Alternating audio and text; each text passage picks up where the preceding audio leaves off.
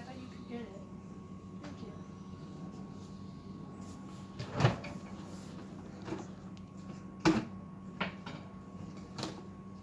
Pass you the intestines, you put it in the garbage. Okay, put it in the bucket. Put it in the bucket. It's like goop. Okay, here. hey, what is it? Yeah, be careful though. Or you have to use one hand to cut it and use one hand. I'll hold it then.